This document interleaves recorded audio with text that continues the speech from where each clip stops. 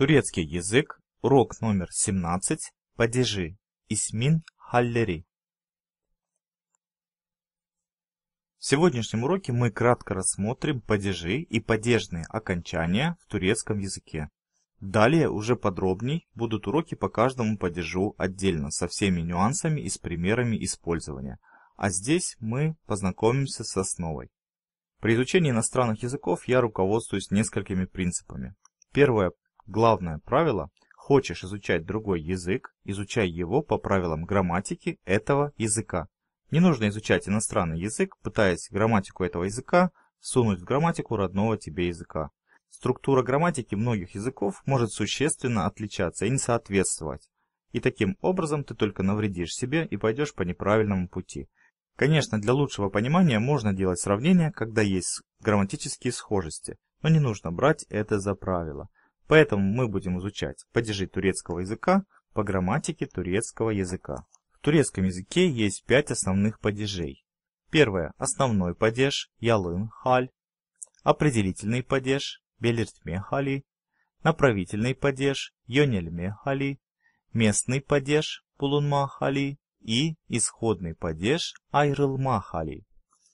Также есть три дополнительных падежа. Это падеж средства Васыта Хали, притяжательный падеж Ильги Хали и падеж равнения Эщетлик Хали. О дополнительных падежах будут отдельные уроки, и в данном уроке мы их рассматривать не будем. Давайте для примера несоответствия грамматики турецкого и русского языка приведем несколько наглядных примеров. Например, предложение «Öğretmen bize güzel şeyler öğretti», что переводится как «учитель научил нас хорошим вещам». В данном случае в турецком и в русском предложении местоимение «бизе» и «нас» – это не эквивалент.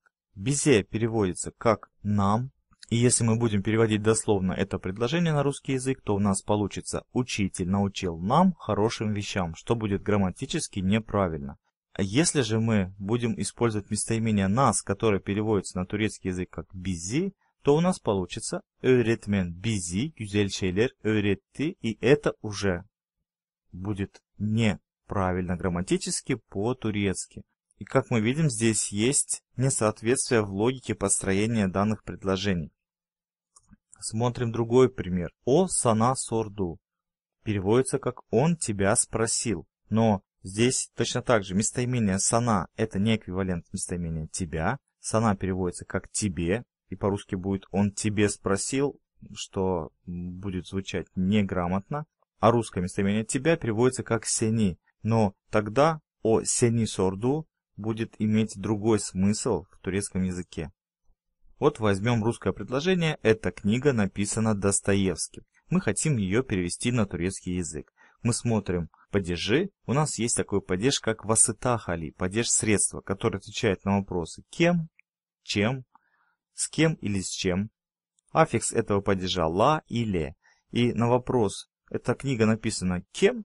Вроде бы мы должны использовать этот аффикс и сказать «Bu kitap Dostoyevski'yle yazıldı».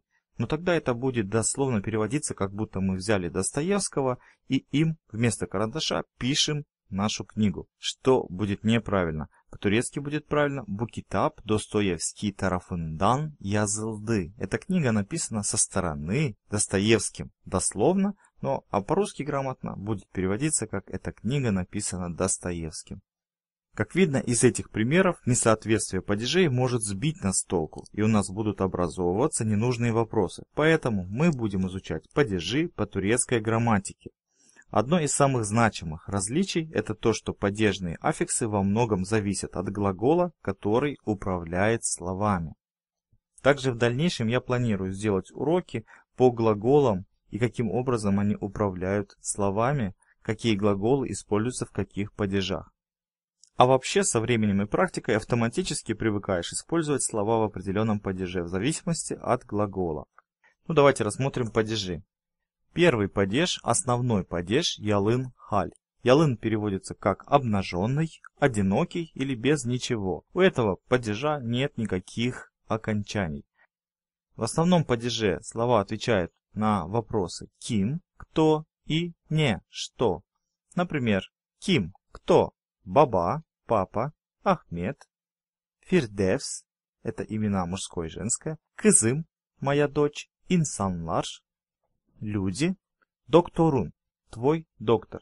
Как видите, в основном падеже слова могут также принимать аффиксы множественного числа, личные аффиксы, аффиксы принадлежности и другие. На вопрос «не», «что» у нас могут быть такие слова. Араба, машина, маса, стол, калем, ручка, кеди, кошка, эвим, мой дом, эвин капусы, дверь дома. На вопрос «что» могут отвечать также изофеты. Личные местоимения в основном падеже. Бен – я, сен – ты, о – он, она или оно, biz – мы, сиз – вы, onlar – они. Следующий падеж это у нас определительный падеж белиртме хали. Определительный падеж указывает или определяет дополнение, к которому присоединяется аффикс. Он определяет объект, с которым производится действие. Отвечает на вопросы кими, кого, неи, что, нерии, какое место. Имеет четыре вида аффикса по малой гармонии гласных – и, и, у или ю. Правило у нас такое. Если слово заканчивается на согласную, мы присоединяем аффиксы и, и, у или ю. Если слово заканчивается на гласную, мы к этим аффиксам добавляем соединительную частицу е и получаем аффиксы и, и, ю, ю. И если у нас изофет, то мы используем аффиксы с соединительной частицей «не» и получаем аффиксы «ны», «ни», «ну» и «ню». Давайте посмотрим примеры. Кими – кого? Кадыны – женщину. Махмуту – Махмута. Здесь у нас имя собственное, поэтому аффикс добавляем через апостроф. И Э, несмотря на то, что Махмуд заканчивается на глухую согласную Т, у нас не идет озвончение на букву Д, так как это имя собственное. Айшеи – Айше, Оулуму – моего сына, Эркектери – мужчин, Кардешини – твоего брата. Или слова, которые отвечают на вопрос «неи» – что? Окулу – школу, Китабы – книгу, Здесь слово «китаб» и озвончение буквы «п» на букву «б», «китабы». Торбаи – мешок. Заканчивается на гласную, поэтому аффикс «и» с соединительной частицей «е». Üzümü – виноград. Элими – мою руку. И, внимание, у нас идет изофет араба анахтары – ключ машины. Так как это изофет, мы к нему добавляем аффикс с соединительной частицей «не», аффикс «ны» и получаем араба анахтарыны – ключ машины. Личные местоимения в определительном падеже. Бени – меня, сени – тебя, ону – его, ее, бизи – нас, сизи – вас, оннары – их. Как видите, к местоимениям также присоединяются аффиксы определительного падежа. Следующий падеж – направительный падеж – йонельме хали. Направительный падеж используется для выражения направления, движения или действия. Отвечает на вопросы киме – кому, нее – чему, нере – куда. Имеет два варианта аффикса по большой гармонии гласных – это а или э. Если последний слог слова заканчивается на твердые гласные а, э, о или у, то аффикс а. Если на мягкие гласные э, и, э или ü, то аффикс «э». Если слово заканчивается на согласные, мы используем аффиксы «а», «э». Если слово заканчивается на гласные, мы используем к аффиксу еще добавляем соединительную частицу «я» и получаем аффиксы «я», «е». Если же у нас изофет, добавляем соединительную частицу «не» и получаем аффиксы «на», «не». Примеры. На вопрос «киме» – «кому?» «Öğretmene» – «учителю», «öğrenciye» – «ученику», «Мустафая» – «Мустафе», Аркадашима – моему другу, Адамлара – людям, Эшиме – моей жене. На вопрос «нее» – чему или «нере» – куда. Примеры.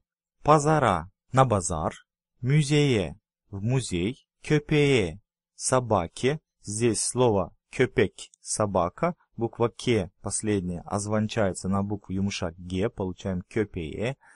Чему собаке? Куша, птице, сынов има, моему классу. Я так одасына. Здесь у нас изофет я так одасы, спальная комната. Я так одасына в спальную комнату. Личные местоимения в направительном падеже. Бана, мне, сана, тебе, она, ему или ей, бизе, нам, сизе, вам, онлара, им. Следующий падеж у нас местный падеж или булунма хали. Мы его уже в предыдущих, во многих уроках видели, встречали. Но еще раз повторим. Местный падеж указывает на место или время действия. Отвечает на вопросы кимде, у кого, нереде, где, незаман, когда. Имеет два варианта аффиксов. После твердых гласных а, и, о и у имеет аффикс да или та. И если заканчивается на мягкие гласные э, и, э и ü, то имеет аффикс д или т. Если слово заканчивается на звонкую согласную, мы используем аффиксы да или д. Если на глухую, то та или т. Если же у нас изофет, то соединительной частицей не и получаем да и нде. Например, на вопрос «У кого?» «Кимде?» «ДДД» «У деда», «Кадында» «У женщины», «Зейнепте» у Зейнеп, Достумда у моего друга, Чочукларда у детей, Анненде у твоей мамы. На вопрос нереде, локантада. Примеры на вопрос нереде где, локантада в ресторане, отельде в отеле, кутуда в коробке, учакта в самолете, да в моем кошельке и мармара денизинде. Здесь у нас изофет мармара денизи поэтому используем аффикс с «не», получаем «мармара», «денизинде» в мраморном море. Также на вопрос «не заман» «когда» могут быть слова, например, «хазиранда» в июне, «маиста» в мае. Вот таким образом мы тоже можем использовать. Личные местоимения в местном падеже «бенде» у меня, «сенде» у тебя, «онда» у него, у нее, «bizde» у нас, «sizde» у вас, «onlarda» у них. Следующий падеж – исходный падеж айрылма хали. Исходный падеж выражает исходный пункт движения или действия. Отвечает на вопросы кимден – от кого, нереден – откуда или нейден – от чего. Имеет также два варианта аффиксов по гармонии – гласных, если твердые гласные а, и, о или у в последнем слоге, то у нас аффикс дан или тан. Если мягкие гласные э, и, э и ü, то аффикс ден или тен. Если кончается на звонкую согласную, то мы используем аффиксы дан или ден. Если на глухую согласную тан или тен, и если у нас изофет, то вместе с соединительной частицей у нас аффиксы дан и ден. Например, Ким Ден от кого? Амджадан от дяди, Тейзеден от тети, Седаттан от Седата, Кызымдан от моей дочери, Türklerden от турков, Бебейнден от твоего ребенка.